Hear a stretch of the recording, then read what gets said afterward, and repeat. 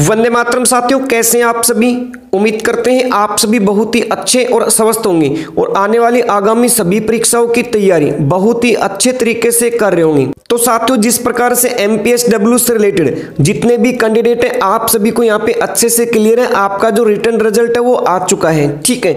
इसके बाद की जो आपकी प्रक्रिया रहेंगी डीवी से रिलेटेड यानी डॉक्यूमेंट्स वेरिफिकेशन आपको करने ऑनलाइन और ऑफलाइन ठीक है? ऑफलाइन की प्रक्रिया आपकी किस प्रकार से रहेंगी, ये हमने जो कल वीडियो डाल दी है किसको कब कब जाना है टाइम क्या है? ये सब चीज़ें हमने पिछली वीडियो में डाल दिया है, ठीक है? फिजिकली जो डॉक्यूमेंट्स आपके वेरीफाई होंगे 10 11 2021 से 12 11 2021 को, ठीक है? तीन दिन आपके यहाँ पे फिजिकली डॉक्यूमेंट्स वेरीफाई होंगे। अब फिजिकली डीवी से पहले, यानी डॉक्यूमेंट्स वेरिफिकेशन से पहले आपके ऑनलाइन स्कूटनी डॉक्यूमेंट्स वेरीफाई होंगे, जो आपके अट्ठाईस अक्टूबर से लेकर इकतीस अक्टूबर तक रहेंगे, ठीक है? अट्ठाईस, उनतीस, तीस और इकतीस, यानी चार दिनों तक आप ऑनलाइन ऑनलाइन स्कूटनी कर सकते हैं, ठीक है? जिसका लिंक अभी कुछ मिनट पहले ही एक्टिव हो चुका है, ठीक है? ये जो लिंक है, अपना जो टेलीग्राम चैनल है, वहाँ पे हमने इसको शेयर कर दिया है, वहाँ से आप इसको चेकआउट कर सकते हैं, ठीक है? टेलीग्राम चैनल का लिंक डिस्क्रिप्शन में है, ठीक है? आप यहाँ पे इसको चेकआउट कर सकते हैं, Haryana staff selection commission, for